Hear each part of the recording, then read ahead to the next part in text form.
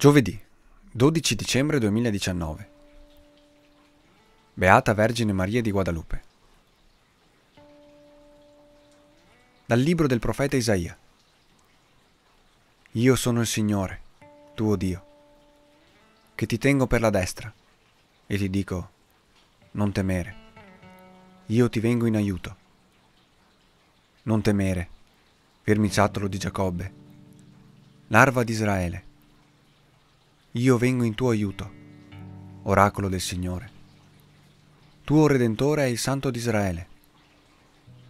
Ecco, ti rendo come una trebbia combinata, nuova, munita di molte punte.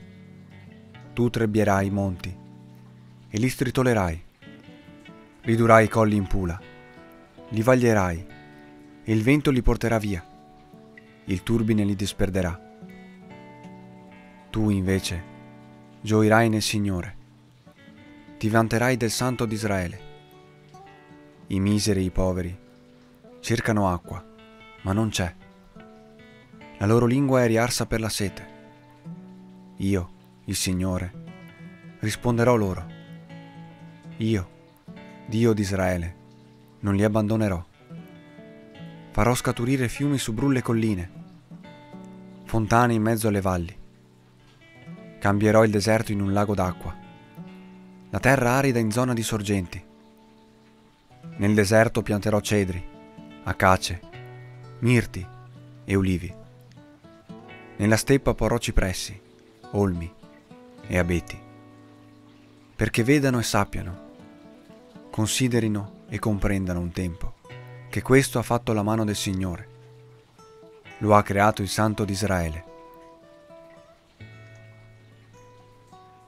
Dal Salmo 144. Il Signore è misericordioso e grande nell'amore. O Dio, mio Re, voglio esaltarti e benedire il tuo nome in eterno e per sempre. Buono è il Signore verso tutti. La sua tenerezza si espande su tutte le creature. Il Signore è misericordioso e grande nell'amore. Ti lodino, Signore, tutte le tue opere e ti benedicano i tuoi fedeli.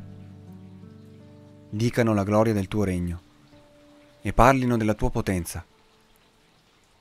Il Signore è misericordioso e grande nell'amore. Facciamo conoscere agli uomini le tue imprese e la splendida gloria del tuo regno. Il tuo regno è un regno eterno. Il tuo dominio si estende per tutte le generazioni. Il Signore è misericordioso e grande nell'amore. Dal Vangelo secondo Matteo. In quel tempo Gesù disse alle folle, In verità io vi dico, farei nati da donna, non è sorto alcuno più grande di Giovanni il Battista, ma il più piccolo nel regno dei cieli è più grande di lui. Dai giorni di Giovanni il Battista fino ad ora, il regno dei cieli subisce violenza e i violenti se ne impadroniscono. Tutti i profeti e la legge, infatti, hanno profetato fino a Giovanni. E se volete comprendere, è lui, quell'Elia che deve venire. Chi ha orecchi, ascolti.